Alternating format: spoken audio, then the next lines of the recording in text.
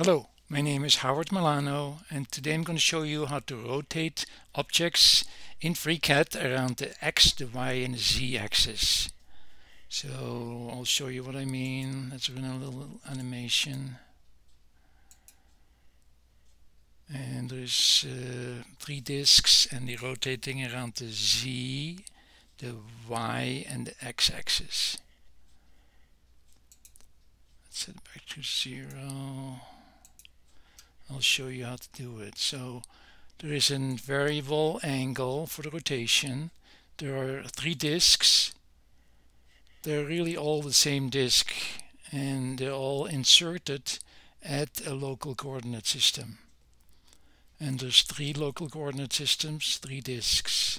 So I assume you all know how to create a local coordinate system and how to create an object and then ins insert uh, the object into assembly 4 at the local coordinate system. Okay, let's hide some things and I'll talk about the magic happens in the local coordinate systems. Okay, first one is a basic local coordinate system at the origin. It's attached at the origin. It is not translated and we're going to rotate it around the Z, the blue one. And how do you do that? You adjust this with variable angle and you attach it at XYZ.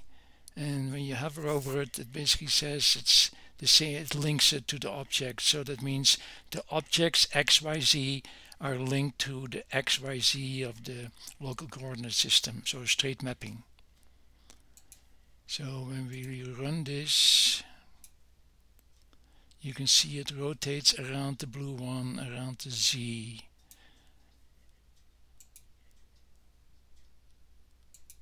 And set it back. And we attach the disk, so I'll show it for this one and you run it, it rotates it, it rotates the object around the Z.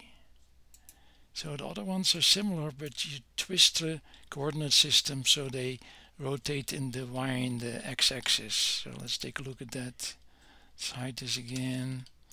Show this one. There's the other one. You can see the axes are twisted a little bit. The Z sticks out here now. So how do we do this? So it's attached to the origin again. It's translated 4D in the Z direction, which is really this Z. And we're going to rotate it around the Y in the original coordinate system, but it really means rotating around the Z in the this local coordinate system. So variable angle again around the Z.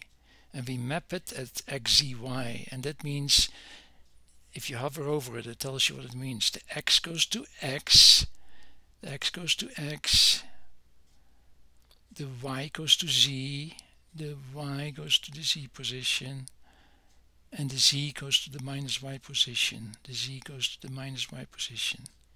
So effectively, with when we're dealing with rotation, it means that this rotates around its local z, but it's really around the the, the y in the original uh, coordinate system.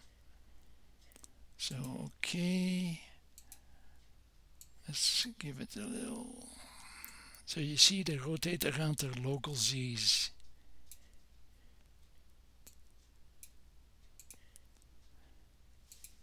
Similar for this third one. This time we want to rotate around the x-axis so, which means in this coordinate system, rotating around the z again. So let's take a look.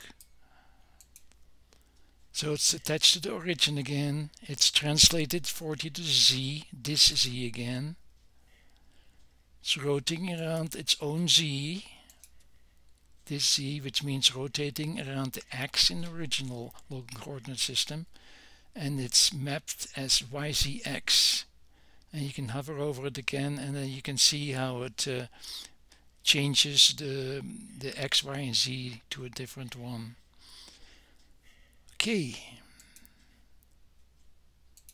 When we run this now we can see that all of them rotate around their local z but in the original one this one rotates around the x this one around the y, and this one around the z.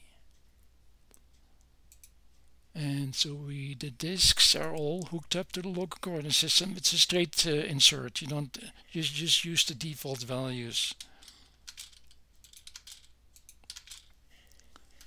And you set it running.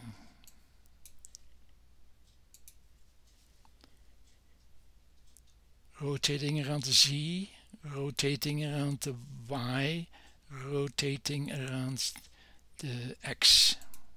Okay, hope this helps. Thanks for watching.